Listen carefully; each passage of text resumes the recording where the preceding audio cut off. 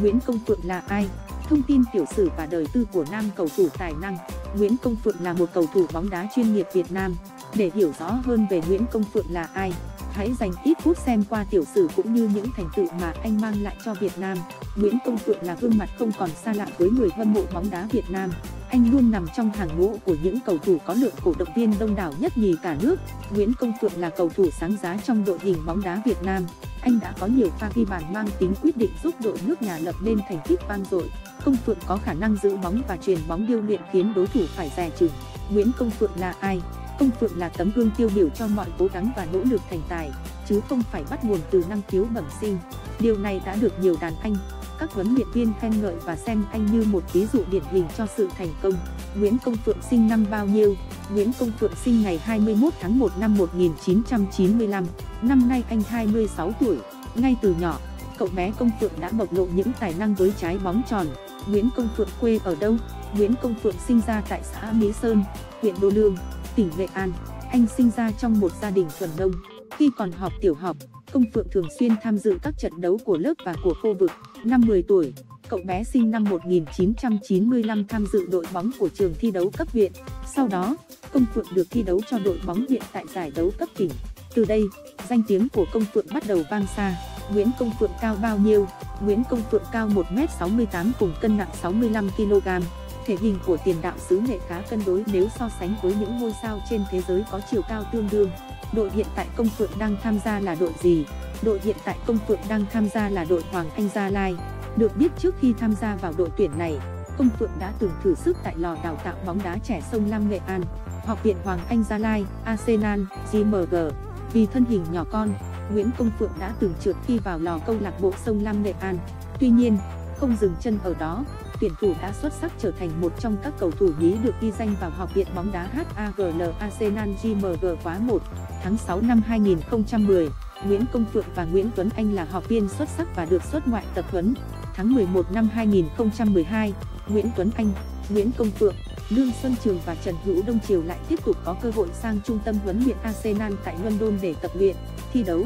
Hoàng Anh Gia Lai, năm 2014, Nguyễn Công Phượng được đôn lên đá V-League 2015 trong màu áo câu lạc bộ bóng đá Hoàng Anh Gia Lai. Ở trận đấu này, Công Phượng đã xuất sắc giành được hai bàn thắng, kết thúc cả mùa đấu. Chàng tuyển thủ ghi được tổng cộng 6 bàn thắng.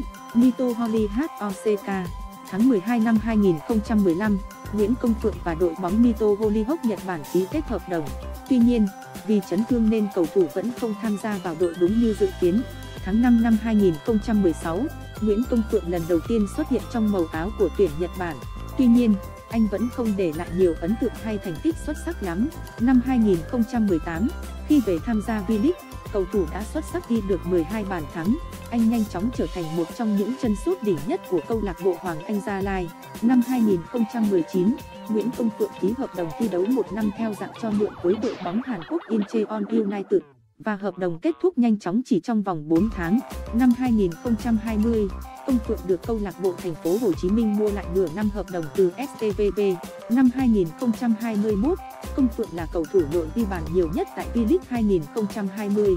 Sự nghiệp quốc tế của Công Phượng Năm 2015, Nguyễn Công Phượng ghi được 3 bàn thắng cùng nhiều pha kiến tạo tại Đại hội Thể thao Đông Nam Á.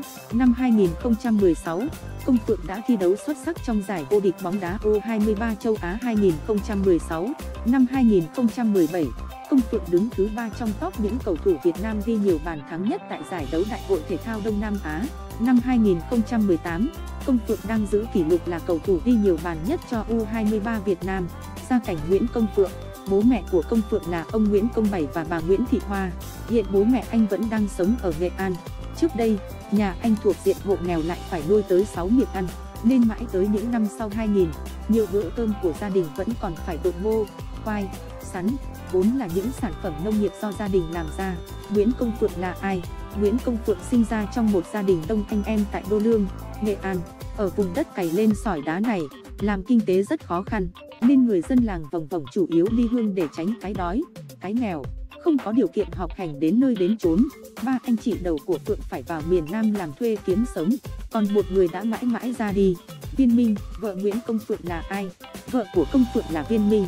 Dù không có ngoại hình quá nổi bật nhưng Viên Minh gây ấn tượng bởi sự dễ thương, chững chạc, Được biết cô là thạc sĩ loại xuất sắc ở The Mid, Viên Minh chính là người quản lý hình ảnh cho tiền đạo tuyển Việt Nam. Cô tham gia vào ban quản trị fanpage Nguyễn Công Phượng GMG để cung cấp hình ảnh cũng như thông tin cho công chúng. Viên Minh không chỉ được chồng yêu thương mà còn được lòng cả bố mẹ chồng và bạn bè Công Phượng. Được biết, bố mẹ của Công Phượng thích Viên Minh ở điểm cô là người hiền lành, đảm đang, biết lo lắng và san sẻ với những áp lực của nam cầu thủ. Gia thế vợ Nguyễn Công Phượng, gia thế Viên Minh khiến rất nhiều người bất ngờ. Cô sinh ra trong một gia đình có điều kiện, gia đình cô có công ty riêng. Bản thân Viên Minh là một người tài giỏi, có thành tích học tập xuất sắc.